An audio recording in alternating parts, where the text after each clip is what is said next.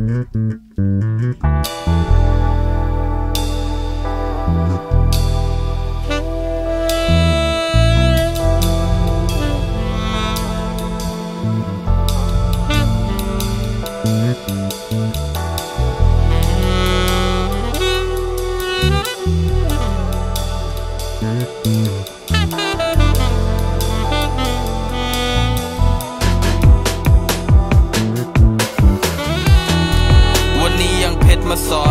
เราเป็นทฤษฎีให้พวกคุณนั้นหลอนแป๊บตัวดำขบเบ็ดเทปเป็ดสิ่งที่โน้ตหกพยางค์ขบเบ็ดสามชั้นแพ็กติดวิสเมตานอมจนต้องปวดกับบ้าน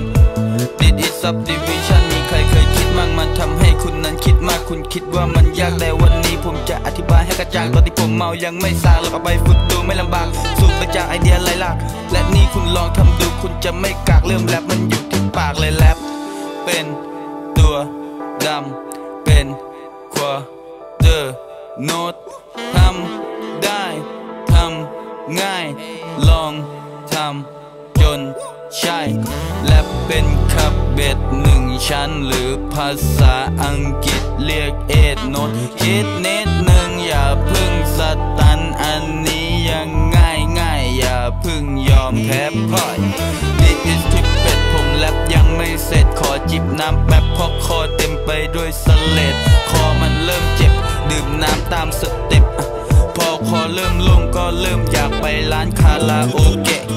ดิอิสิกที่โน้ตหรือภาษาไทยเขาเรียกขับเบ็ดสองชั้นมันทำให้กูนั้นเริ่มจะเหนื่อยแต่กูก็ยังไม่เปื่อยยังแลบไปเรื่อยปากยังไม่เมื่อยสนานกับเพื่อนที่เลื่อนกับปากที่เปื้อนขากับเจอลูกเสือถือไลเซเบอร์บอกให้กูรีบจอดเอ้